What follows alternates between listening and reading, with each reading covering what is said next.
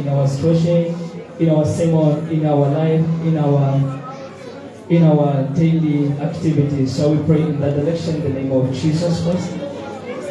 Father, we come before the throne of mercy, recognizing that indeed you are greater in the mighty name of Jesus Christ, the Son of the living Jehovah. We say thank you even for this opportunity that you have given us, our Father, to listen to your ways. In the mighty name of Jesus Christ, the Son of the living God. Jehovah, we pray, Abba Father, Abba Father, we declare your presence in this meeting, O God Almighty. We declare you as a preacher, we declare you as an interpreter, we declare you as Abba Father, a teacher. In the mighty name of Jesus Christ, the Son of the living God. Abba Father, arise and let our heaven start in the mighty name of Jesus Christ, the Son of the living God. Jehovah, arise name of Jesus Christ, the Son of the living God. Oh Jehovah mighty, just use here as just a vessel. In the mighty name of Jesus Christ, the Son of the living God. In the mighty name of Jesus Christ. Father, help me to interpret the scripture, to interpret the message to your people. In the mighty name of Jesus Christ, the Son of the living God, we pray. Amen. Hallelujah. We can take our seat comfortably. Church, I welcome you in the name of God the Father, the Son, and the Holy Spirit. I say good morning and welcome. As usual, our mother always tells us to say, you have to greet your neighbor wherever you are seated. So greet your neighbor and tell them they have done to come.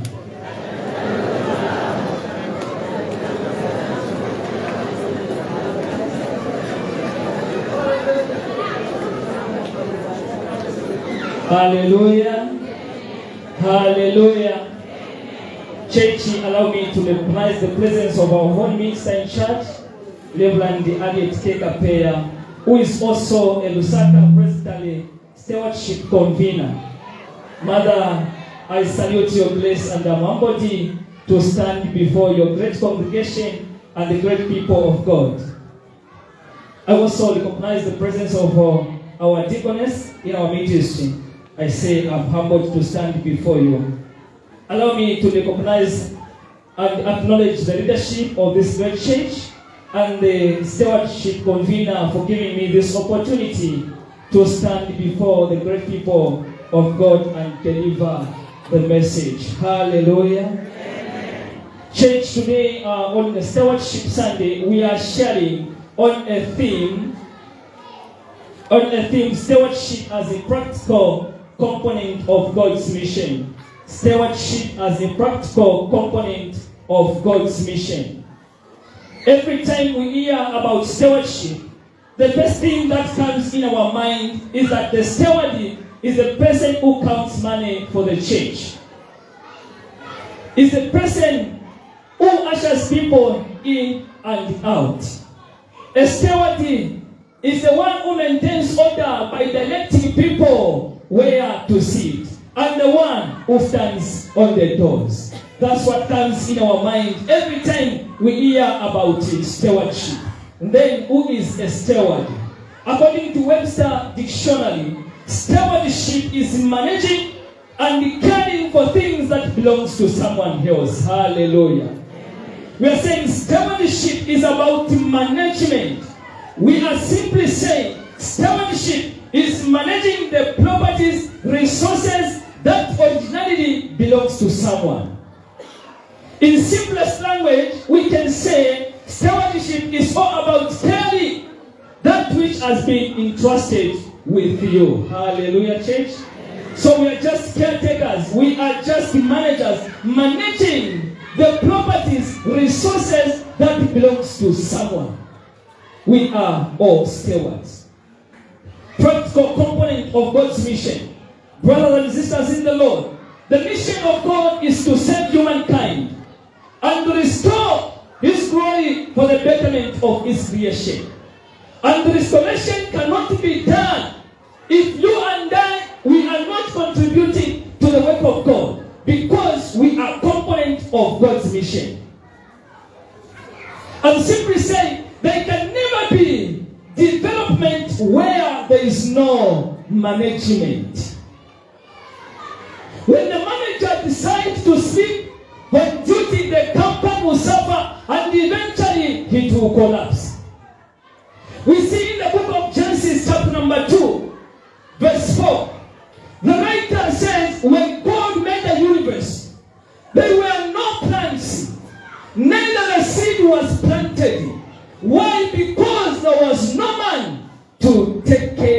of the plants. So we see that before the plantation, before everything came to be managed, there must be a manager to take control the resources. So when the manager decides to start watching, by when the manager start or decide to start watching from the distance or at the distance, things will never move.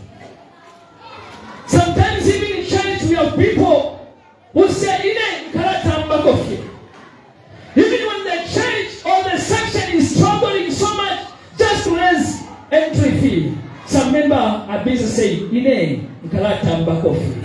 Hallelujah. Is that being a good steward? The church is struggling so much, and this one is saying, "Ine Nkalata mbakofi." The master for the honor, who not let his company who his building fail because of this business and wicked steward will say, I will go and change the management before this steward destroy my company or my properties with the slogan saying, Ine Kalata Mbakofi. Brothers in the Lord, if I misuse if I misuse this phone, I will not be answerable to anybody. If I misuse this phone, it, I will not be answerable to anybody because it's my phone. Hallelujah. But if I misuse and destroy this microphone, which belongs to the church, I will be answerable because it's not mine. Hallelujah. I will be answerable because it belongs to the church. It's not mine. I'm just a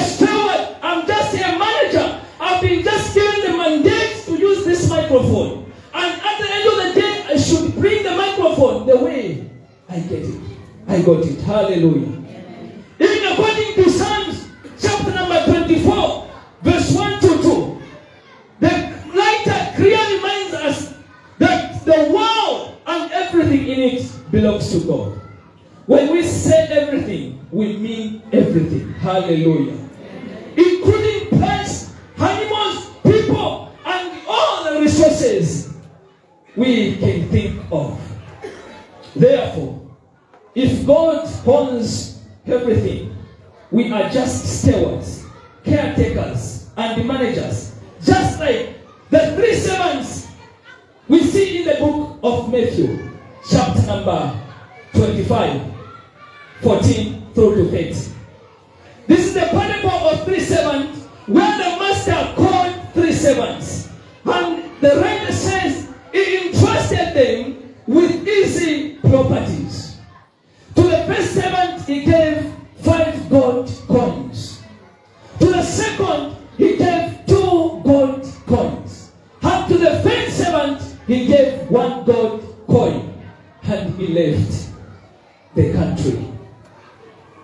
After some time back, the master came demanding for easy properties. The one who received five said, Master, see, you entrusted me with five gold coins. Here I've gained another five.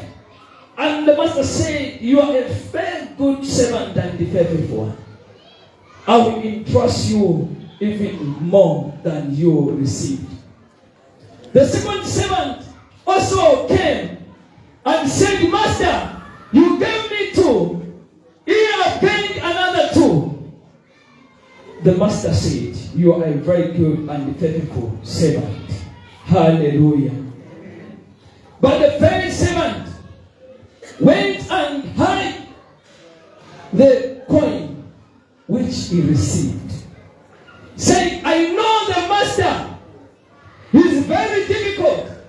He is, is not a very understanding master. If I happen to lose this one coin, I don't know.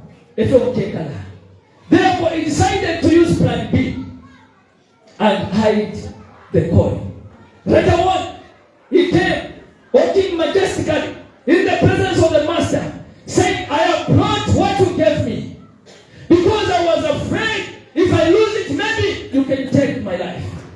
And then the master responded by saying, You are a very wicked and lazy steward. Hallelujah. You are very wicked and lazy manager. You have taken my money to the bank so that it can gain and multiply. At the end of the day, I would have gotten the interest on it. I don't know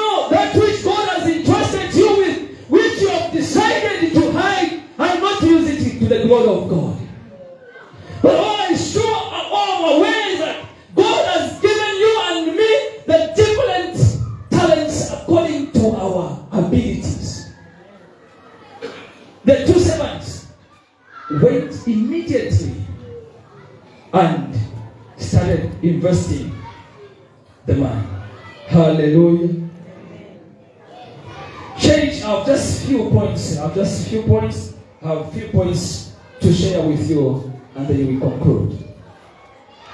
The first point that I would like us to share is everything belongs to God. The first point, everything belongs to God. Yes, we can proudly say,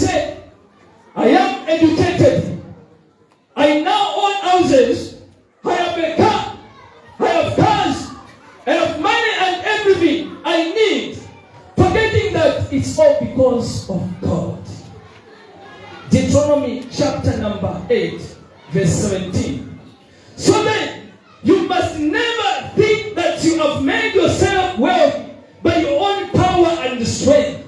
Remember that it is the Lord your God who gives you power to become rich. Hallelujah.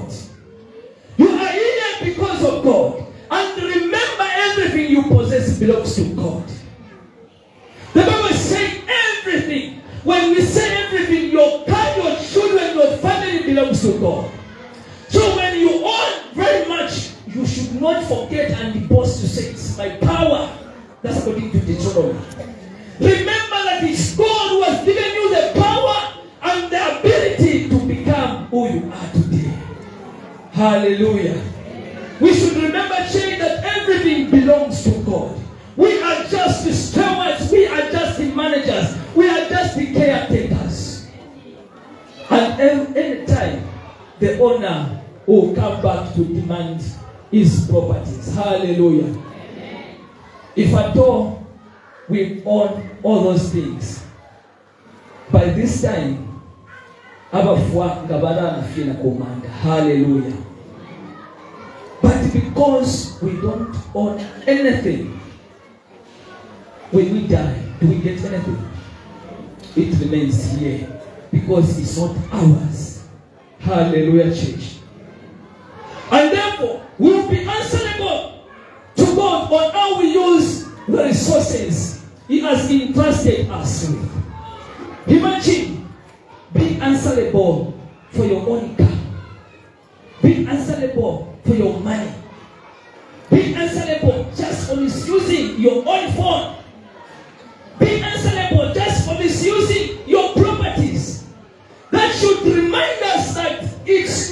ours, it belongs to God. We are just stewards. Our neighbors, families, orphans, widow, and so many less privileged people are suffering and yet we have more than enough to help them. That's not being a good steward. Your neighbor is struggling just to have a meal. Your neighbor is struggling just to go to school, and you have enough to support them. You are not being, have not been a good steward. Hallelujah. Every time I should remind, you should remember that it belongs to God. Point number two. It is a privilege to be involved in the mission of God. It's there on the screen. It is a privilege to be involved in the mission of God. Brothers and sisters in Christ, you are more than you think. And God has entrusted you with a talent or talents. That is to say, God has given you a lot of value, ability, and the potentials. We are all worthy so much. There, we should not let any person make you think of yourself.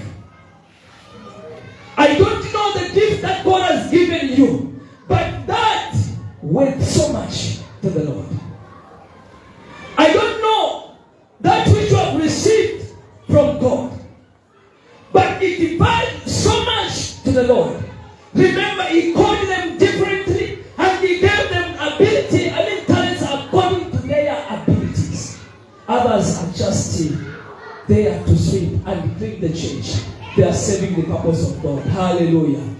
Others are just there to encourage others, are serving the purpose of? God. Others are just there as a choir, just to serve the purpose of God. Hallelujah.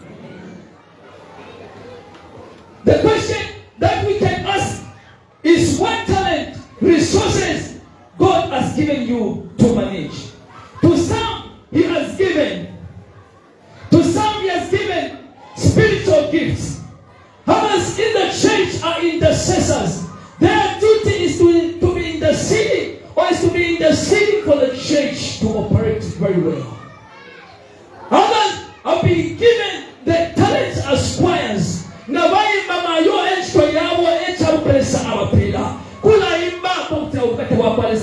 wakwalisa nenyimbo yakwalisa ile ya paritanish Others are preachers, we might not be all preachers, but others have been given the mandate of the spiritual gift as preachers. And therefore, when they preach, the lives of people are saved. Hallelujah. And people are coming back to God. Other people have been given the gift as counselors. Their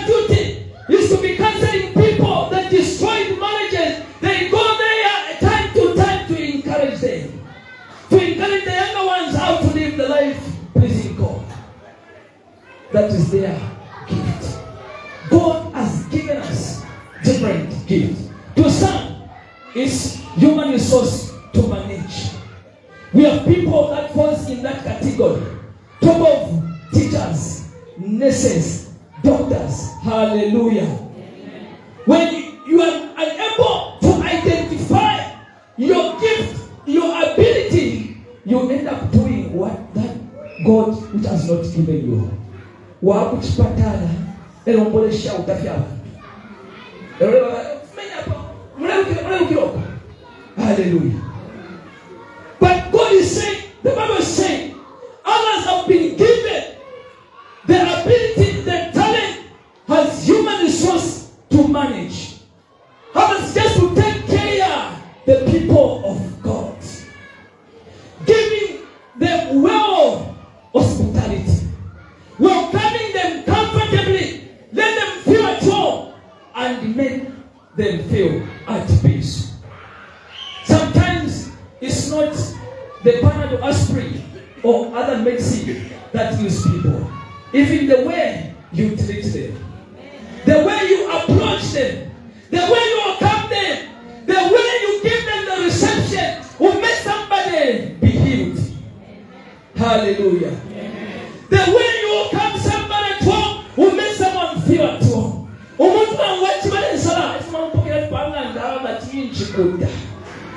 Haleluya. Ama hajapenda hata ile pasa, hata ile tea kwamba kofi. Haleluya. Hapo kwa pechini ndo tawapi ashimwa. Dashani. Haleluya church. Mm. Tuwasana tunayo tunawatanda mchurch yashani. Hallelujah, church. The reception we give people matters must be God. That's why even Jesus himself was saying, I've not come here as a manager. I've not come here as the boss, but I'm here as a servant. Hallelujah. You and I, we are servants. And the servant receives nothing but to offer. Hallelujah. We are here to offer the sentence of God so that the mission of God may be achieved. In our sections, in our various communities, we can do it. To some, He has given them material resources, means of production. Hallelujah. The Bible in Deuteronomy was reminding us that when you become rich, remember it's not your power nor your strength. It's the Lord who has caused you to become rich because some are poor. So you should remember that it's not your power, it's not your school. Yes, I'm saying school but remember it's because of God. Others have tried from grade 1 to 7 ya vyako sana aleka na ya kufahamu. Hallelujah. I'm not saying the farmers are from grade 1 to 7. Hallelujah. Kaitwalete mlango. I'm going to say lesa ala pele fyaupe bambishuma na wale kamushechi toma je ulimu hapo lesa ule apantage. I'm not saying we should not be giving because of God has not given you that. Hallelujah, church. So that's what God has done. To some, He has given the wisdom and knowledge to understand and interpret things. When they are there, are devising the management to say, what about if we do this, we do that. That is their gift and their calling. Just to be advising the church. So each and everyone here has something to do in this church. In this church, there's no one to be watching other people doing. We are all stewards. And remember, we're saying steward as a product component of God's mission. So we are stewards. With all these talents given to us, do we now realize that we are all stewards? In that family, company, section, and the community, and in this great church, do you realize that you, you are a steward? Ask your neighbor who is a steward. I don't know the answer I'm going to give you. But you wait, you see them outside. You see, they will remind you to say, the one who counts money. Hallelujah. We are all stewards of God. Therefore, let's wait diligently to the execution of our responsibilities, knowing that we shall give an account to our master. However, let us be like the two tenant servants who utilized their talents very well. That was entrusted with them. And the master said, Well done, thank you faithful servant. Receive the reward which has been prepared before you and enjoy the kingdom of God. Hallelujah, church. It's my prayer that we shall utilize the talents or talent that has been given to us very well. So that by the end of the day, we receive the reward. May God bless us all. Amen.